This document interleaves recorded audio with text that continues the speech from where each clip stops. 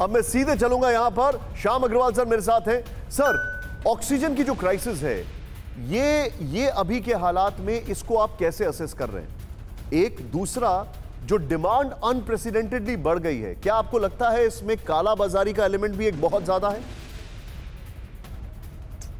निशांत, देखिए पिछले वर्ष जब ये महामारी आई थी तब उतने मरीज़ नहीं थे जितने कि इस वर्ष हो रहे हैं। Number one number two last year तीन, चार, पाँच लीटर के हिसाब से ऑक्सीजन दिए जा रही थी और वो सफिशेंट थी।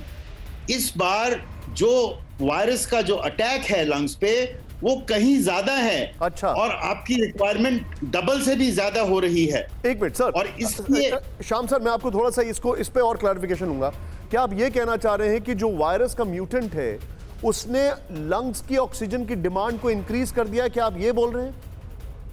एब्सोल्युटली पहले क्या होता था कि जब वायरस लास्ट ईयर आई थी तो वो लंग्स में छह सात आठ दिन के बाद अटैक करती थी। अब जो हम देख रहे हैं अपने पेशेंट्स या केसेस जो आ रहे हैं अब तीसरे चौथे दिन ही पेशेंट्स को ऑक्सीजन की रिक्वायरमेंट होनी शुरू हो जाती है। माने कि वो जो वायरस है, वो लंग्स को डैमेज करना शुरू कर देती है थ्रू द इम्यून मैकेनिज्म जो कि हम जानते हैं, जो कि स्टीरॉइड्स के ज़रिए काबू में किया जा सकता है।